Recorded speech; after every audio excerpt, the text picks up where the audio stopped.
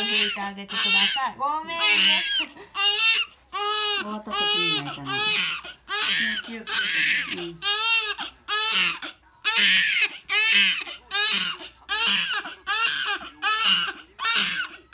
でちょっと狭いところでやるときは頭拭いてタオルをこうやって上から下げてあげて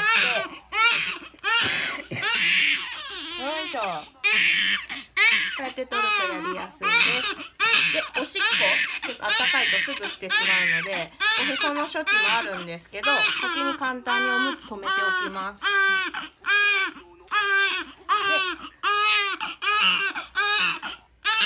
うんごめんね。で肌すぐ寒くなってしまうので、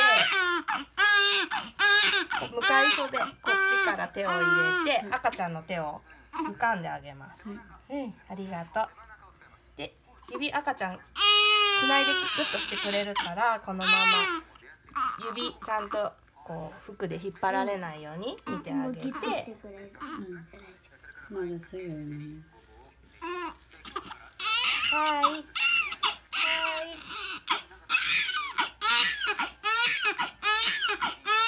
で、こっちも一緒で手を掴んであげて、ゆっくり入れていきます。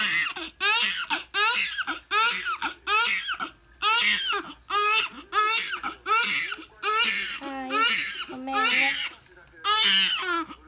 で、ちょっと寒くなっちゃうので、とりあえず湿って服着せて上の服着せてあげて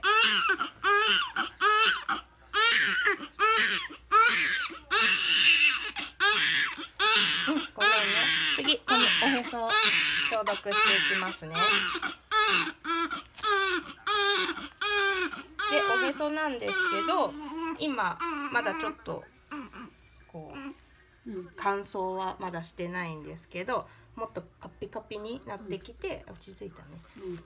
これ残しときたいですこのおへそ、うんそしたら10日ぐらいしたらおむつの中にポロって入ってるかもしれないので、ちょっとよずっとここを見見ながらゴミ捨てていってください、でもしここがジュクジュクしてきたりとか血出てきたらちょっとあの教えてくださいね、で消毒の仕方教えますで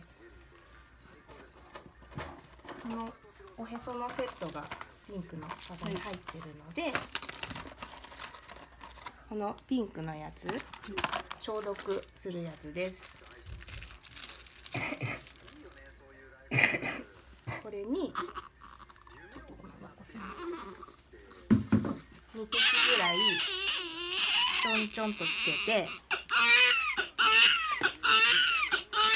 ここのこっちじゃなくてこっちにゴミが溜まっちゃうんでここをくるくるっと掃除してあげてください。